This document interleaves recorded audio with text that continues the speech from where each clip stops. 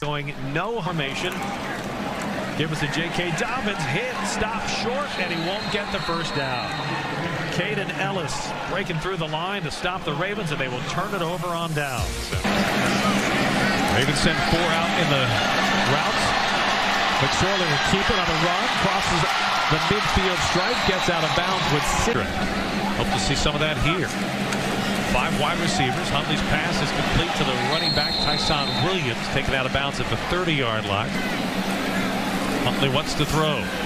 Has time. His pass is complete at midfield. Tyson Williams wrestled down after Mouse. Advantage cat. Oh, absolutely. Again, third and three. Let's see what he gets.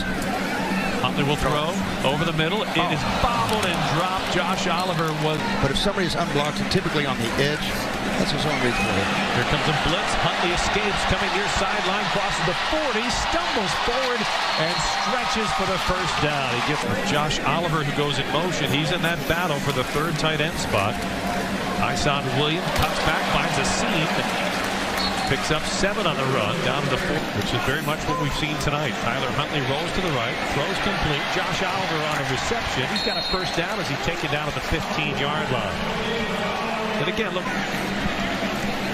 in front of the lead. Huntley will throw. He's pressured, runs to his left. Ooh, and he is cut in half. Ball comes loose, and the Saints recover at the 10.